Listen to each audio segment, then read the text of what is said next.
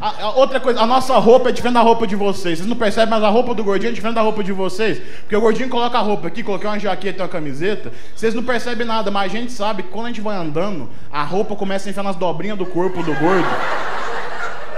Que quando você menos espera, o gordinho tá embalado a vácuo, sabe?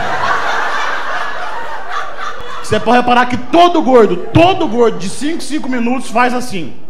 Todos. É impressionante.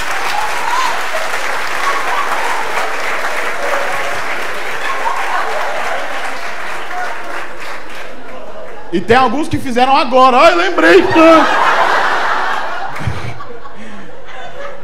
Ai, cara. Não, eu decidi que eu não uso mais tênis. Eu não uso mais tênis. Eu, tô usando, mas eu quero parar, sabe, cara? Porque é muito difícil.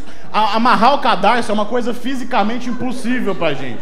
O gordo vai tentar, é um princípio de infarto que a gente tem, sabe? Porque a gente vai tentar aqui, a mão não chega, olha aqui, eu não chego, eu tô tentando, o dedo não vai, tô esticando o dedinho, balançando o dedo, o dedo não alcança o cadarço aqui. A minha junta começa a doer a costela aqui, eu vou tentando, não chega. Aí a vista começa a escurecer já aqui, sai. Aí no fundo da minha alma eu ouço o Silvio Santos falando, não consegue, né, Moisés? Não consegue. E eu vou.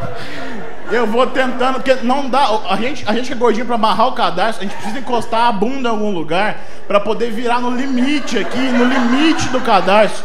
E a gente faz o cadarço mais escroto do mundo, assim. Você pode reparar que todo cadarço de gordo parece um hang loose de lado, assim, sabe?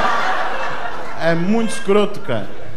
Ah, queria, eu queria emagrecer, eu queria, sabe? Tentei fazer dieta, tentei fazer...